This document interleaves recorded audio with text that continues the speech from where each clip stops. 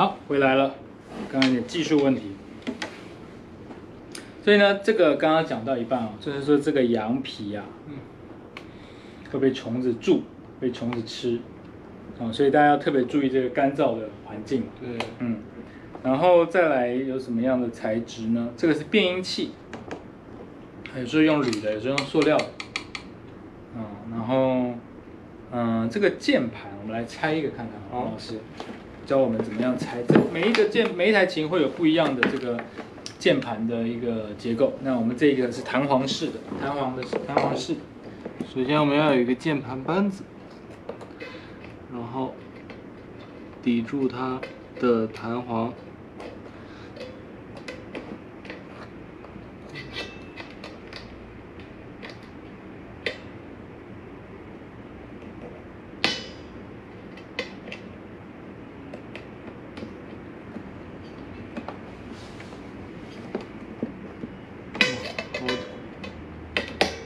好，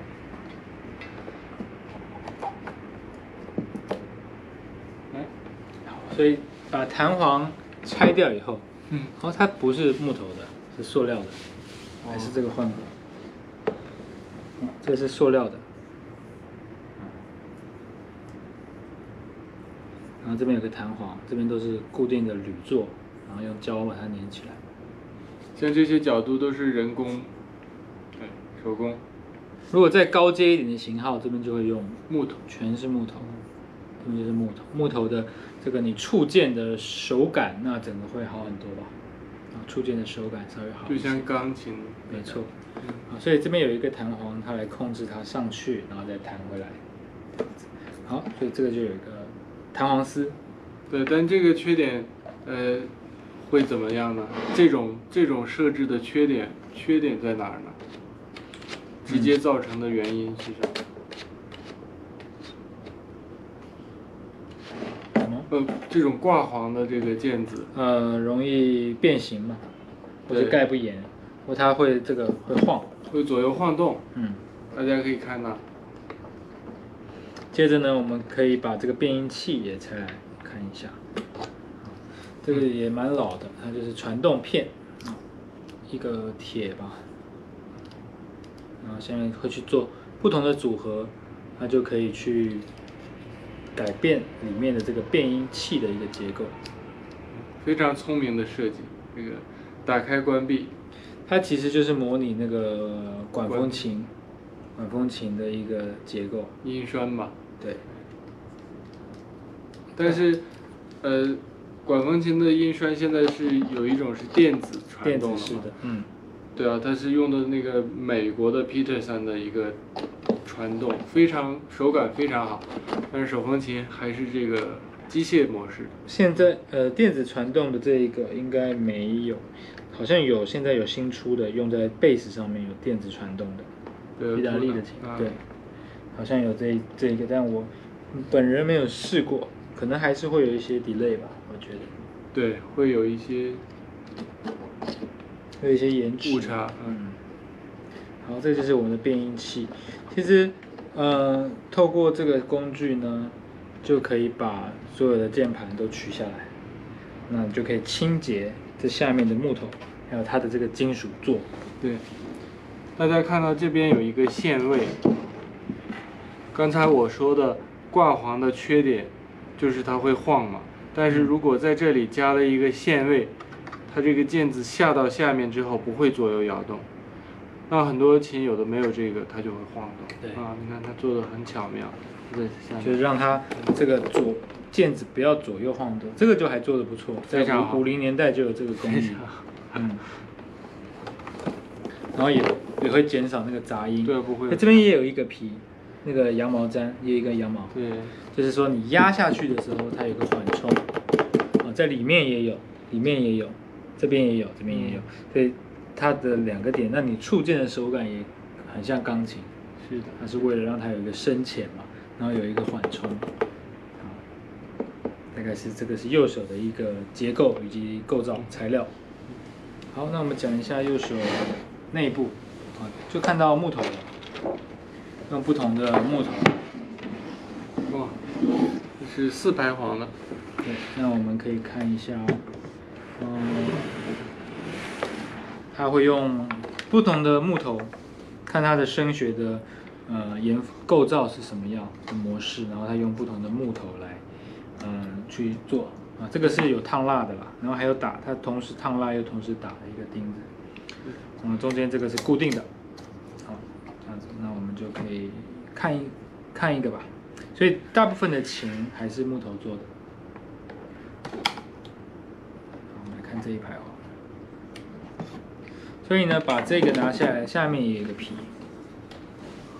为了让它这个跟这个金属之间可以气密，对，啊，然后如果我按这个刚刚的变音器，它这个红这边的金属条就会被盖起来或打开。这个这样看得到吗？这样这样可以。有人有问题？哇，按键结构上关节部位是否需要上润滑油？嗯，这很好的问题。不建议自己上啊，因为有很润滑油，出厂的时候它会上一些，出厂的时候有可能会上一些，关节部位，那也要看你用的润滑油是什么。对，有有一种在木头上使用的，有一种在金属上使用的。那如果上不对的话，它会积灰尘，更黏。会越来越多，嗯，导致就是不可逆的这种修复。所以这个润滑油，呃，还是要看状况，哦，因为如果说是比较常进风的一个地方，它上润滑油反而会沾黏很多灰尘，嗯，让它生锈更快。是的，就是这些灰尘、这些脏污啊聚集，反而让它生锈变黑这样子。所以还是要决定它。的反应会变慢。对，好，这是我们的黄片。黄片讲过了，像如果说像这种比较呃大众的、比较一般的嘛，嗯，比较通常就是外框是用铝合金，不同的铝的合金，对，然后这边有一个一样有一个羊皮，对不对？纸风，羊皮对对，然后羊皮上面可能会有一个铁条，还要加它的重量更重，更更有效的纸风。然后瑞典钢嗯这种钢材，哦，硬黄钢，然后这个铆钉打进去，然后大家可以看它是不同的木头去拼的啦。对啊，可以从颜色上直接辨别出来。对，底部一层，这边一层，不同的硬度。对，嗯，我们就可以看到，这个已经有点泛黑的是蜂蜡，那如果新的话应该是黄色的，比较接近黄色。这七十年没有换过了，感觉可能有一些补过的痕迹，但基本上大部分没有换。对，有维修过。所以这个你看这个有黄比较黄的这个是换新的，这边比较黄的是新的，有维修过的，这不是我们维修的。哦，这个是这应该是意大利的朋友维修的，意大利的蜡，然后黑的的话就是七十年前的这个蜂蜡，对，大家可以看到。好，那右手的部分大概都讲的差不多了。所以这个，呃，我再补充一下，嗯呃，大家认为好的簧片就有好的声音，那是正确的。但是如果没有好的这种木材，对，它再好的声呃簧片也也不会有好的效果。对，嗯。好，那我们把它装回去。这个装的时候就要小心它的皮子哦，不要压到了。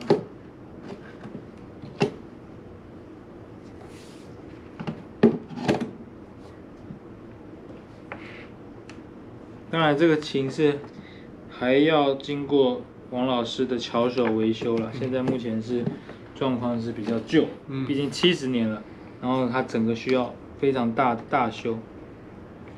但是七十年的它的材质也是用的最好。啊，像这个皮这样轻轻动到一下它就掉了。那这个皮子，王老师可以解释一下这个是什么材质？这个就是，呃，经过加工的羊皮啊，除菌呐、呃，烫啊，就是除菌。呃，它现在已经完全没有弹性了。因为你看这边全部的皮子都翘起来，对，所以放回去就特别困。非常硬。对，嗯，基本上呢，它一个正确的状态呢，它应该是要服贴的，就是服贴在我们这个硬簧片上面，对，它是要平贴的。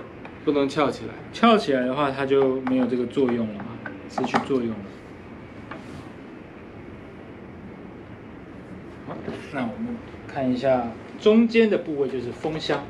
风箱是什么材质的？我想大家应该很好奇。那我们以另外一个，好，因为这个就不好去猜它了。好，那我们看一下风箱，这就是风箱。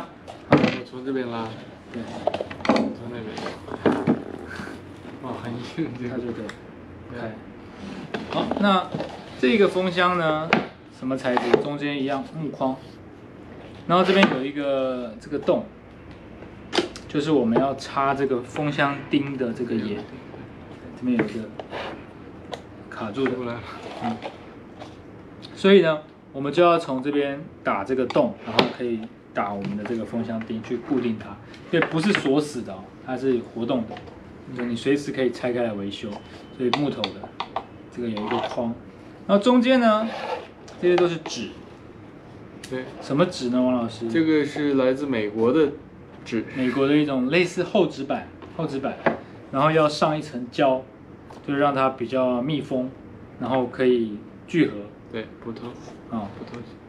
其实这这层胶也很关键，对。呃，会使这这层纸变得非硬度非常强。嗯，我的那个老师就是制琴的老师，说是那个芦芦荟哦，胶，对做的这个胶，就是有带有这个植物的这个胶，然后刷一层在它的上面，它就很，嗯，它可以伸展，但是它又不会透气，不会嗯。不会漏气，哦，那中间就是可能有一些纸的这个花纹嘛，只是不同，这只是一个造型，然后中间呢，大家可以看到中间，啊，有这个这个部位是什么？黄老师，这是羊皮了，对，羊皮，羊皮在这个火脚，所以它可以伸展对脚的部位，所以它是由纸做的，所以当然就怕潮湿。那羊皮是不是也怕虫蛀？会有的时候会，我修的琴啊，就会看见这边有小洞啊，就被虫吃了。然后你呃一般人检验不出来嘛，也不知道哪里漏气，所以就会从这个地方来漏气啊，对或者这四周也会漏气。大家看这个四周也有皮子，对，那这边的皮子呢？这边白色的皮应该是白色的，这边有一圈白色的皮子啊，是在跟刚刚右手结合的地方，它不要漏气。所以我们看手风琴，任何地方都会漏气。对，所以呃，今天假如说你的乐器感觉到漏气，它可能是多个地方都有可能造成这个这件事情，所以这时候修琴师的工作就非常重要，他要去检测出到底是哪里漏气。一般人认为可能是风箱破洞，嗯但是其实风箱破洞的状况反而少，嗯，通常是键盘啊或者贝斯的部分漏气比较多，除非是这个边条，对，因为它其实很难拉，虽然是纸，但是很硬，它不太会破。我修过一台风箱漏过的，嗯，它是被水泡了，啊，那没办法。对，整个就得换。所以大家就要非常注意这个防潮，防潮这个要非常注意。除湿机要打开。对，好，那这个就风箱啊，纸做的，纸跟羊皮。对，好，里面呢，啊，这边里面跟右手差不了太多了，一样，一样，基本上一样。那唯一不一样的呢，啊，你可以看到我们的这些 base 的部分，一样一颗一颗。那有早期用牛骨做的，牛的骨头，骨头、那现在都是用塑料、塑料塑胶做的，嗯，基本上都很耐久。你看这七十年它不会坏。好，那这个我已经先行打开了。这个呃好一点的话，就是用真的牛皮真皮真皮去做，这个就是真皮，呃所以你看七十年了，不用换不会坏掉。啊，不会断。这个我已经事先打开了啊，这个也是铝，包了赛璐璐，赛璐璐，然后包在铝上。好，那看到中这些，嗯、大家可以看一下。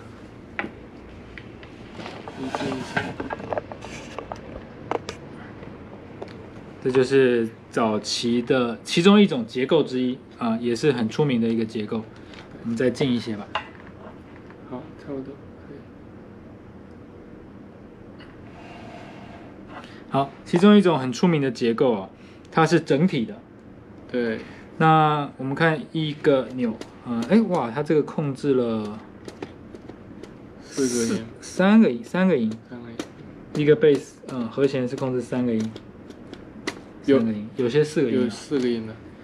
嗯，然后这个这也不是现在少见了，意大利琴现在很少看过这个了。对，片片状的这个键键感传动，所以呢，好，要拿出来为大家展示一下吗？所以呢，现在要做一件可怕的事，哎，两个都拿起来。整体拿下来。好，这个就大家就稀有了。我们先看那儿吧。好，好，所以这就是它的构造。这七十年前的意大利琴，排风口传动是这样，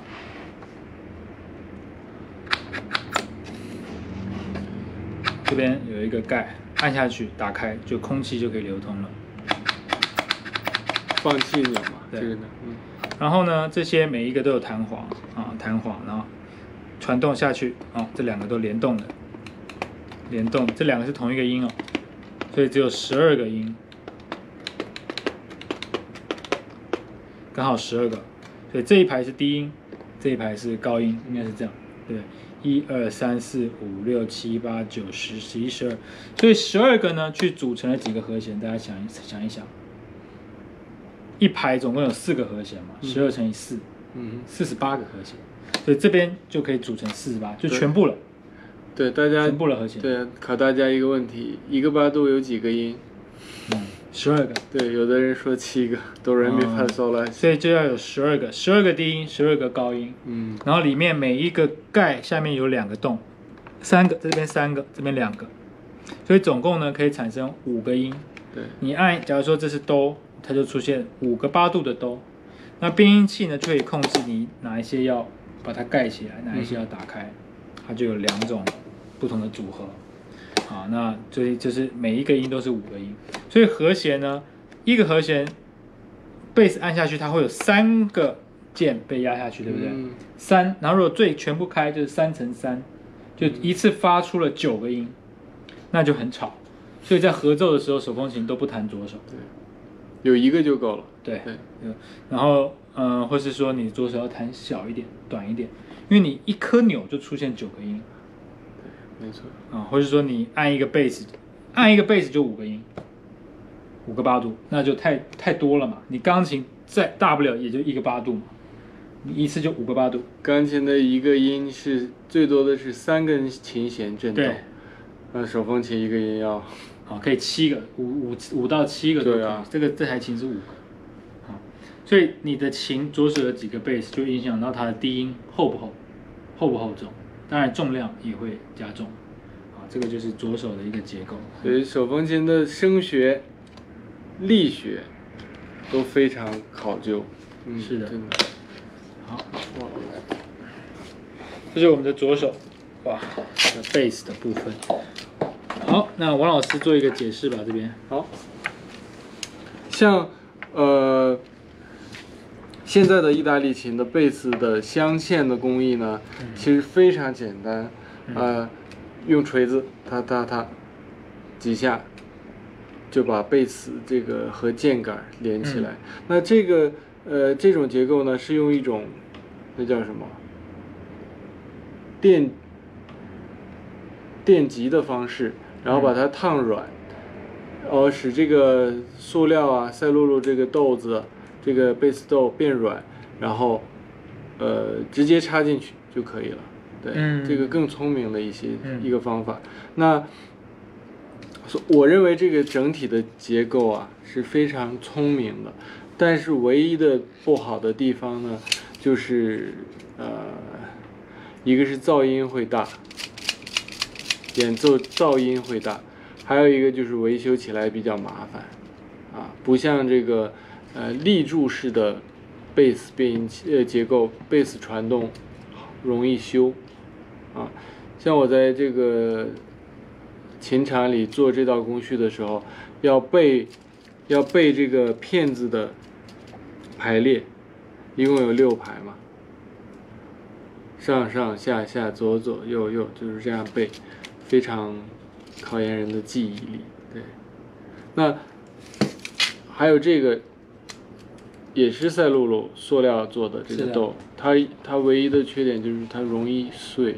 嗯，久了，但但是也不会。你看七十年，七十年，我很惊讶。七十年就人的一生，很多人的一生了吧？绝对了。还有这个固定这个片子的这个塑料胶套也容易坏，但是我没有发现这台琴有坏。所以放了七就好，你东西真的好，就是你真的在当时用的好的材料，它真的用七十年不会坏。所以现在大家如果要选琴，肯定要选好的，当然，就是有质量保证。你看这个七十年不坏，你就可以传到孙子都没有问题。我觉得一百年应该没问题。对，所以像这个乐器啊，它它的价值就很多了，因为它这个现在像我们这个乐器，这次还没有修过啊，这个如果再经过王老师的维修，它可以变得非常好，几乎像就是演奏起来音色听不出来是老琴，对，当然有可能还还比新琴听起来更好听。因为声音已经，因为木头已经，呃，早期的这个木头反而用的更好。干燥，对，非常。而且音色更有特色。现在的黄片因为原料的关系，都是大企业、大公司制作的原料，你就没办法去做出这么多有音色、这那么多有特色的黄片的音色。音效，所以在早期的这些，大家会觉得这个它的音色更有味道。当然，你要选它的材质是用的真的好的啦，啊就是真的要打开它的内部，因为一个同样一个牌子，它一样会有初阶的琴嘛，会有高阶的琴。那这个我觉得就算是比较好的，算是没有回声里面最高阶的。它这个再往上走，应该就是回声我琴。我觉得这台琴是我非常喜欢啊，它的做工非常的到位。七十年了，然后你这些按钮啊什么的都还是没有什么变形。那再再来就是说，它当时哦用的这些哦，可以用的这些材料就非常的扎实。对啊，像这个这个黑色的，嗯呃，有点像钢，但它其其实有铁和钢的。其实这个这个铝条都有都有磁性，都有铁，对它就是铁和钢的结合嘛，半钢半铁，我可以这样讲。所以它的硬度就很。现在还我没看过用这种这种那么硬的。我们拿一台，因为我没有琴嘛，因为我知道，你就是用手这样去按，都会动现在的琴，嗯，但这个都不会动。对啊，所以这个琴也是经典的民琴之一啊 s e t e m i o Soprani，Settemio 俗称的诗牌。嗯最早是 Polo，，Paolo Soprani、s e t e m i o Soprani 这样子。好，同学们，不知道线线线上有没有什么问题？现在线上都可以发问，我们会帮你解答。那有几位同学问啊、按钮结构上关节部分，对这个关节部分的润滑油，就是要看是哪个关节，而且要看状况，不是不是通篇一律上。像这种就其实如果它没有任何杂音，你也就不用去上吧。那除非你要整个在上的过程，你可能清洗，那也不是用润滑油啦，对，啊，用那个机油啊、汽油。最好不要自行的上油。这个就不要太多油就会坏。旧的琴在老师们的功用可以来研究解解剖，对，其实新的琴也可以啊，因为一般新的琴也是刚做好嘛，基本上也都是可以拆的。然后你要去判断一台琴好不好，最好就是我们有提供验琴的服务，对专业的验你可以，假如说你要买这台琴，那我们可以拆开来，所有的构造都让你看，嗯。啊，就不会说你只只会看它的外表，那音色，哎，一台也比较不出来什么嘛，要做一个比较，然后看它的材质。有时候一台琴，你可能新的琴，全新的音色听起来并不怎么样，嗯，啊，因为新的关系，反而是旧的更好。但你不能说这个新的琴弹了两年以后，它可能就变得更好。所以其实要看它里面黄片的等级。对的，对的。啊，如果说你一台普通的黄片，你弹了两年以后还是普通的黄片，但是一台手工的黄片，你弹了两年以后，那就是两倍的那个音音音色的质感就差很多了。我们俗话说就是把这台琴拉开了。对，嗯，那其实跟那个金属共振它的频率也有关系啊。对啊还有问题，好的，后面下面，对，什么时候使用变音器哦？是嗯，这个变音器这件事情哦，就是它有如果乐谱上面有写，那就依照乐谱。再就是说，你可能你的你要高低八度，嗯你要到目标这个音，但是你的乐器没有这个音域，你可能要低八度或是高八度，改变它的音高。或是说这个乐谱压根没写，那你就自己决定吧。就它没有一个规，就是你要听怎么样左右手搭配好听。那基本上你在不同的段落，你可以用不同的编音器，前奏用一个，进来主题用一个，第二段主题再换一个，那第三段再换一个，然后就是每一段用不一样的。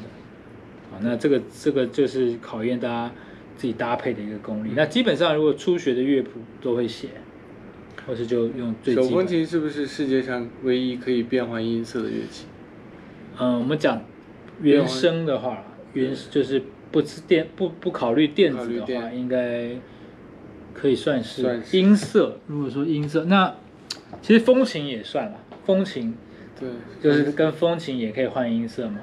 风琴就是说你早期那种脚踩的风琴，嗯，那管风琴也是啊，管风琴也是。但它都是太现在的话基本上都有电子辅助了。对的，现在不太可能，因为早期是用，呃，有用人力人力去拉这个风箱踩啊，或是外面有人在帮你踩，对对，或是水车啊，哦。那后来就有电力了，就鼓风，对，后来就有模拟的，模拟古风，它不是真的有风，模拟的，模拟的，就是呃数位了，数位化了，或是类比化了。嗯，这个音色，对，所以就这个就不一样了哦。那唯唯一大家可以想一下，如果还有想到的话，可以告诉我们什么乐器它可以变换它的音高、音色。音高应该有了，音高可以，音高可以的。音色，音色的话，音色为什么手风琴的音色会改变呢？在于他说今天只有一个音。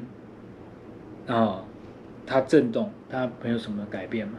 高低八度其实也不算是改变音色，但是我们出了这个音，但是我们找了跟它一样的音，但是比它高一点，或者比它低一点，哎、这时候音色那个震动的形状就改变了，像因为它会产生一个共振。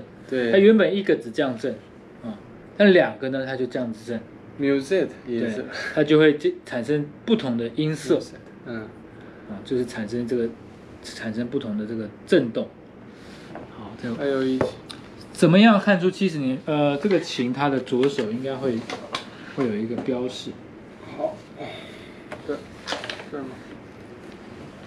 这块儿有一个，好，我们要看一下琴。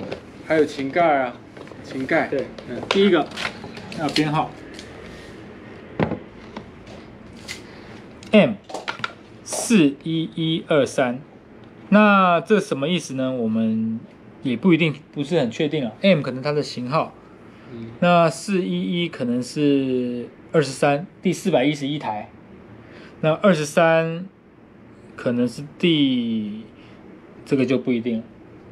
嗯，这个就不是很确定，这可能是第四百一十一台这个二十三型号、嗯 M 二十三型号的第四百一十一台，嗯，有可能，或是说就 M 四幺幺 M 四幺幺，这对是它的型号，也有可能。哦。然后他会坐在这边，大家看他坐的时候这边就会写，你看这是首科的 M 四幺幺二十三，就代表说对，这它是第二十三台了，你看。哦第二十三台这个销子上有，那就是说它的规规格是 M 四一一然后第二十三，二十，三台，哇，很老，对。很早的，那我们用这些资料呢，去找一些网络上的文献，再慢慢推理出来，大概就可以知道它的年代了。因为那个这个盖子啊，嗯，只有那个年代生产，对，这个盖，最早期的，这个就是我说的狮牌，这边有一个狮子，嗯，然后这边这个都是早早期都是手工做的，手工做的。好，那大家有什么还有什么问题吗？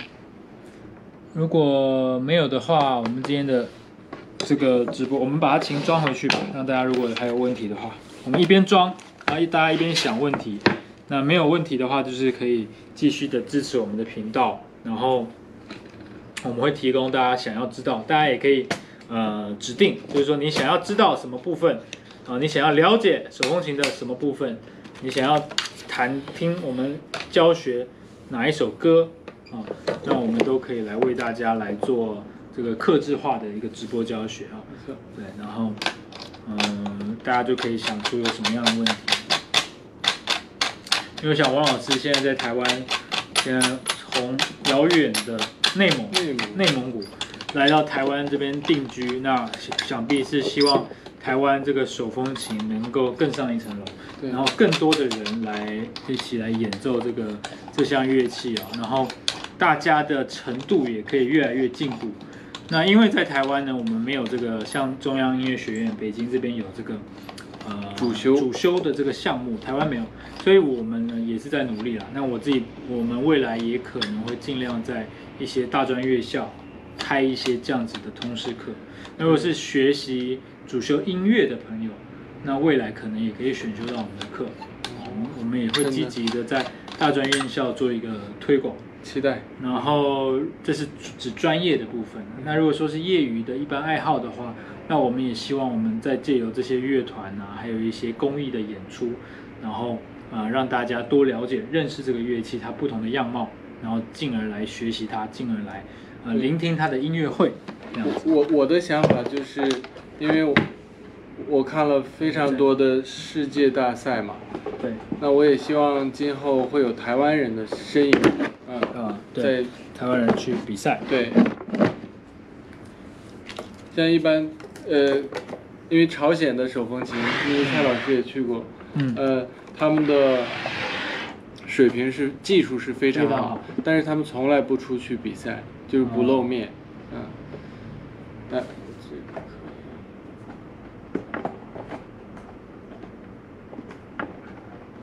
当然，音乐不是全部有比赛。我要反过来。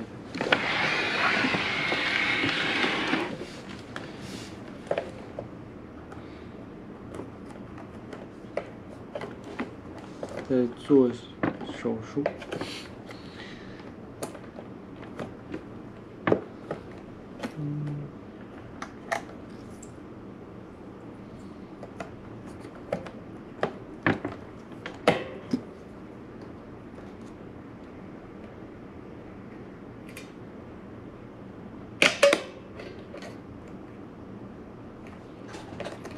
所以就要把它勾回去。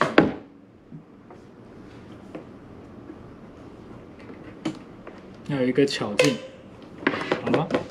好了。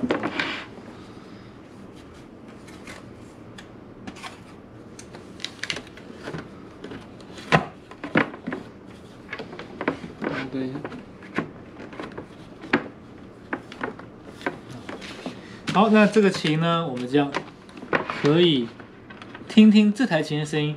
呃，这台琴还没调音啊，我们可以听听看没有调音的声音。很恐怖。对，这个没有调音，所以大家的琴不调音就会有这样子的声音，而且这个可能好几十年没调音了吧？它应该有经过调音了，但是呃，就是这七十年之间是有调过的，但是近期应该没有调音可以吗？啊。漏漏气，